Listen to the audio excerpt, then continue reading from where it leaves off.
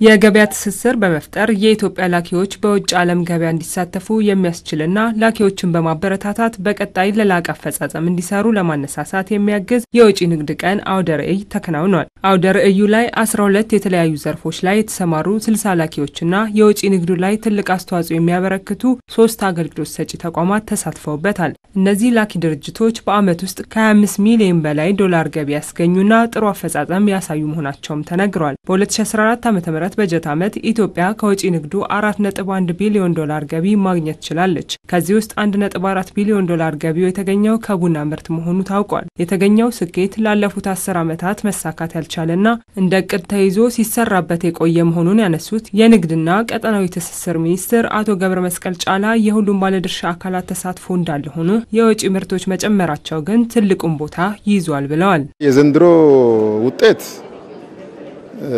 በመሰረታዊነት ወጪ ምርቶች ጨምረዋል። ቡና በከፍተኛ ደረጃ በመጠን ጨምረዋል። ከአምናም በላይ ብዙ ጨምረዋል። የቁም እንስሳት ጨምረዋል። ጥራጥሬ እና ቅባት እህሎችም በከፍተኛ ደረጃ እየተላከ ነው ያለው። ሀገራችን ትልቅ አቅም እንዳላት የሚታወቀው በከፍተኛ ደረጃ በኮንትሮባንድ እየወጣ እንኳን ምርቶቻችን ወጪ ምርቶቻችን እየጨመረ ነው። ስለዚህ አንደኛው የምናወጣው ወይም የሚመረተው በሀገር ውስጥ even በጦርነትም በጸጥታ ችግርም ላይ ሆነን በሚመረቱ አካባቢዎች የሚወጣው ምርት በጣም በከፍተኛ ደረጃ እየጨመረ መጥቷል። አንዱ ነው።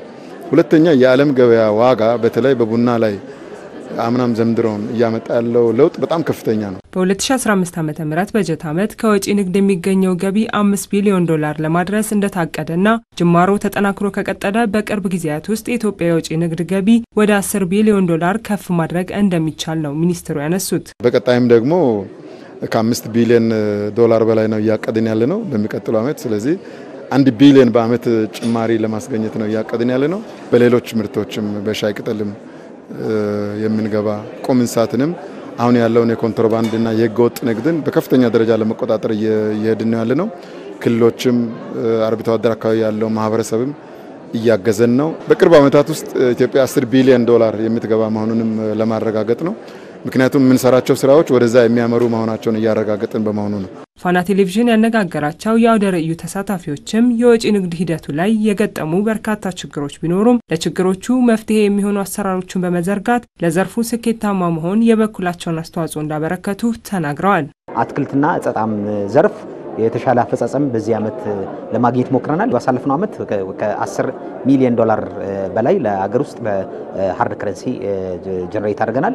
ከአምሳ በላይ የተለያዩ ቡናዎችን ደረጃቸውን የጠበቁ ቡናዎችን ወደ ውጭ ሀገር በማላክ በተለይ ባለፉት ሰባት ዓመታት ከ300 ሚሊዮን USD ገቢ ለሀገሪቷ ያስገባ ትልቅ company ነው። የኮንቴይነር እጥረት አጋጥሞናል። እንግዲህ ችግሩ አለ ብለን ችግር አንዳንድ ጊዜ ብልሃትን ስለሚፈጥር በተለይ የኮንቴይነርን እጥረት ከጅቡቲ ቀጥታ ወደ ያልተለመደ ነገር ከጅቡቲ ወደ አዲስ አበባ አምጥተን ወደ 200 ኮንቴይነር አምጥተን ቡናውን ለመላክ ችለናል።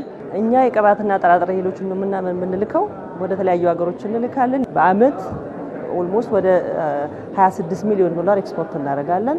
በሜትሪክ ቶን ደግሞ ከ30 ሺህ ሜትሪክ ቶን በላይ ኤክስፖርት እናደርጋለን። በፊት ECX ጭምር ነበር የምንገዛው።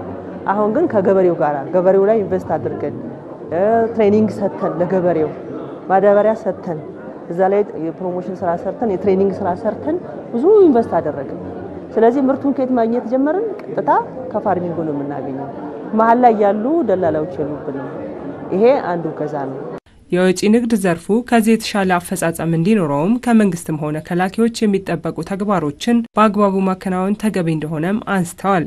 ትልቁ ነገር መንግስት ባወጣው ነገር ተመርቶ መስራት በትክክል ውጤታማ የሚያደርገን ትክክለኛ ምርት ማቅረብ፣ የገባነውን ኮንትራት መተግበር፣ በደንብ አድርገን የፕሮሞሽን ስራ መስራት መቻል አለብን። አቅም እንዳለን ጦርነቱ እንደማይገድበን መስራትና ማሸነፍ እንደምንችል የሚያሳይ ነገር ብንሰራ ከአምና ከዚህ የበለጠ የሚቀጥለው ዓመት ላይ የበለጠ ስራ እንሰራለን። price regulate ያደርጋል መንግስት የቡናን price regulate ያደርጋል። የሌሎችም regulate እያደረገ ነው።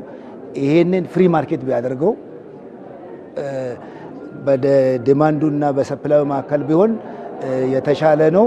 ምርቶቹን በጥራት እና በብዛት አምርቶ ወደ እነኚህ ገበያዎች በማዳረስ የሚገኘውን ገቢ ለማግኘት በተቻለ መጠን የግል ባለሀብቱም መንግስትም ተረባርቦ እዚህ ላይ ቢሰራ የተሻለ ውጤት መምጣት ይችላል ብዬ አምናለሁ። የኢትዮጵያ የውጭ ንግድ ቀን አውደ ርዕይ የኢትዮጵያን ባለልዩ ጣዕም ምርት ይግዙ በሚል መሪ ሀሳብ ተከናውኖ ውሏል።